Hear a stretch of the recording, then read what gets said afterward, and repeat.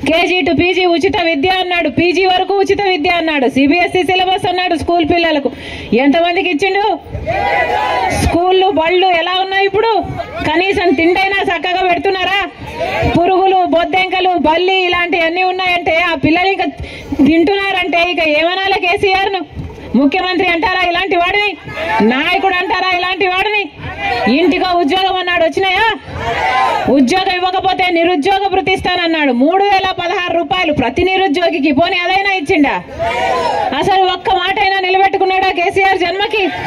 మూడెకరాల భూమి ఇస్తానన్నాడు పేదవాళ్ళకి ఇచ్చిండా? పోడు భూములకు పట్టాలు ఇస్తానన్నాడు ఇచ్చిండా?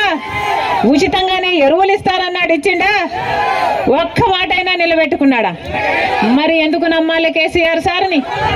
ఇప్పటికి రెండు సార్లు ఓట్లేసినాం కదా. రెండు సార్లు ముఖ్యమంత్రి అయిండు కదా. మరి కేసీఆర్ గారు మీ గ్రామానికి ఏం చేసిండు? మీ కుటుంబానికి ఏం చేసిండు? మీ నియోజకవర్గానికి ఏం చేసిండు? కనీసం రోడ్లు కూడా చక్కగా లేవే. తాగడానికి మంచినీళ్ళు కూడా కొన్ని చోట్ల లేవని చెప్తున్నారే. ఇదేనా పాలన అంటే? చేతనైందా కేసీఆర్కు పరిపాలన? అసలు రైతన్న వాడు బాగుపడుతున్నాడా కేసీఆర్ గారి పాలనలో?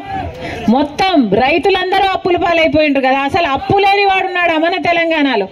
ఎనిమిది సంవత్సరాలలో ఎనిమిది వేల మంది రైతులు ఆత్మహత్యలు చేసుకున్నారంటే ఎందుకు చేసుకున్నారు? కోటీశ్వరులే చేసుకున్నారా? ఐదు వేలు ఇస్తున్నాడు రైతు బంధు కింద. గొప్పగా ఇస్తున్నట్టు చెప్తున్నాడు. ఏ కేసీఆర్ సారు? కానీ రాజశేఖర రెడ్డి గారు ఉన్నప్పుడు ముప్పై వేలు ఇచ్చేవాడు కదా. ఇన్పుట్ సబ్సిడీ ఉండే ఎరువుల మీద సబ్సిడీ ఉండే పంట నష్టపోతే పంట నష్టపరిహారం ఉండే బోర్లు వేసుకుందామన్నా డ్రిప్ వేసుకుందామన్నా రైతుకు ఏ సాయం చేయ కావాలంటే ఆ సాయం చేసిండు కదా కేసీఆర్ రాజశేఖర రెడ్డి గారు. మరి కేసీఆర్ గారు ఐదు వేలు ఇచ్చే రైతు బంధు ఇచ్చి ముప్పై వేలు ఇచ్చి మిగతా పథకాలన్నింటినీ బంధు పెట్టిండు. ఎవరు బాగు